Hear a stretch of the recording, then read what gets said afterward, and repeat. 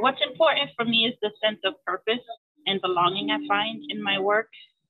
My work is meaningful and it's given me a sense of self.